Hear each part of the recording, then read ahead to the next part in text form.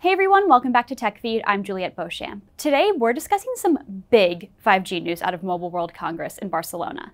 And let's talk about how some IT leaders think blockchain will disrupt the enterprise. Stay tuned.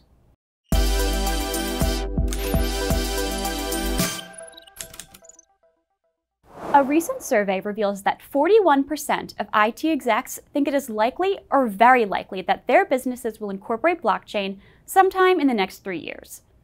48% of respondents said blockchain is likely to change the way they do business. And there's a few ways that these execs think blockchain will change traditional practices. The respondents pointed to reduced cyber risk, a change in IoT processes, and a new way to handle contracts as some top disruptions, among other things. Blockchain is positioned to be a powerful tool for automation in the enterprise. It gets a lot of buzz, and we'll be keeping an eye on if and how businesses decide to roll it out.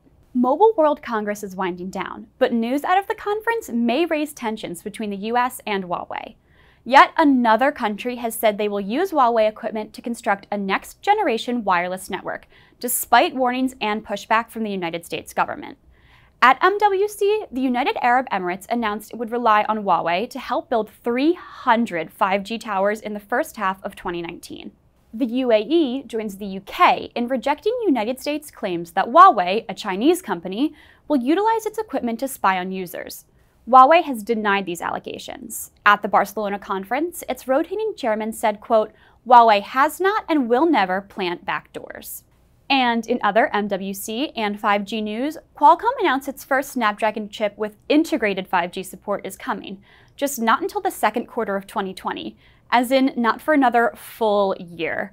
And that's probably for the best. 5G gets a lot of hype, but as it stands, the newly announced phones with 5G capabilities are just that. They're capable of 5G. But without actual 5G infrastructure in place, you won't notice much of a difference in your phone's performance.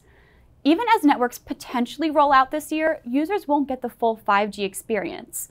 However, with the correct networks in place, this new Qualcomm chip promises high speeds without increased battery drain. In short, expect to hear more about widespread 5G rollout later this year and into 2020. We'll be sure to keep you in the loop.